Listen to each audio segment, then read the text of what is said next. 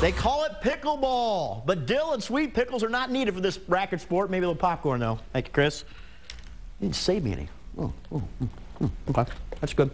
In fact, a paddle, a little foam wiffle ball, and a 30-foot space will suffice. Tonight, the Wood County Committee on Aging and the good folks at the Rossford Rec Center have invited me out to take the Fox Challenge.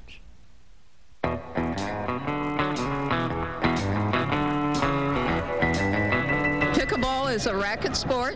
What ball? I think of pickleball as a cross between uh, ping pong and regular tennis.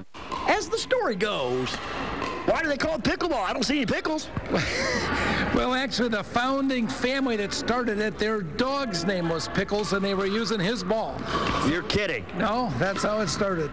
That was more than 40 years ago. Joanne Trussler is a pickleball champion. Well, I've won medals, yes. How many medals? Oh, I can't count. And Connie Mijewski? What do you like about it? Speed. Speed of the game, the intensity, you gotta you gotta play hard, you get to move around without dying on a tennis court. The pickleball court is about half the size of a tennis court. And the rules? Well, they're pretty simple. You play to 11 and must win by two. Jeff Foster is a pickleball addict. You didn't even move, man. yeah, I've been accused of that. Yes. so, so the, yeah, the, the running is not, you know, it's in there, but that's one of the reasons seniors love the game is you don't have to run to death. So it's not quite as bad as tennis. A little easier on the joints. Hey, Joe, do you think you can play pickleball? Take the Fox Challenge. Why, sure. So where are the pickles? Anybody can start playing. It's an easy game to start.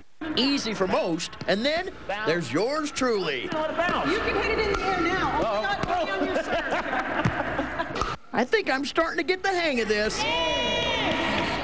And it doesn't matter if you're a beginning player or an advanced player. We mix it up, we play with everybody, we want to grow the sport. Mission accomplished. Spin on it.